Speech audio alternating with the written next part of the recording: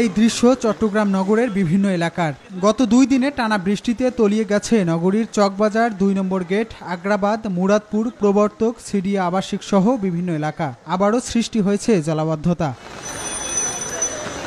বৃষ্টি হলেই এমন জলাবদ্ধতায় চট্টগ্রাম নগর পরিণত হয় জলাবদ্ধতার নগরে। এতে ভোগান্তির শেষ নেই নগরবাসীর। অফিসে যাওয়ার পথে অনেকে অনেকে অ্যাক্সিডেন্ট করছে, অনেকে আহত হয়েছেন, আবার অনেকে দেখা যাচ্ছে রোগী নিয়ে যাওয়ার সময় খুবই ভোগান্তিতে পড়ছে। মাননীয় প্রধানমন্ত্রীর হস্তক্ষেপ কামনা করছি, যেন আমাদেরকে চট্টগ্রামবাসীর দিকে একটু দৃষ্টি দেন এবং আমাদেরকে জলবদ্ধতার হাত থেকে রক্ষা করেন। জলাবদ্ধতার কারণে দোকানপাট ও ব্যবসা প্রতিষ্ঠানে পানি ঢুকে পড়ায় ক্ষতির মুখে পড়েছেন ক্ষুদ্র ব্যবসায়ীরা। তলিয়ে গেছে অনেক বাসাবাড়িও। অতিরিক্ত বৃষ্টিপাতের মা- কারণে আমাদের এলাকার জলাবদ্ধতার মাধ্যমে বিপুলভাবে পানির নিচে তলিয়ে গেছে। পানির জন্য অনেকে দোকানপাট খুলতে পারতেছে না নিরীহ মানুষ অনেক কষ্টে আছে কারণ তারা ঘর থেকে বাইরে হতে পারতেছে না বাইরে হলে ডুবার সম্ভাবনা থাকে। এদিকে চট্টগ্রামে আরও কয়েকদিন ভারী বর্ষণ অব্যাহত থাকবে বলে জানিয়েছে আবহাওয়া অধিদপ্তর।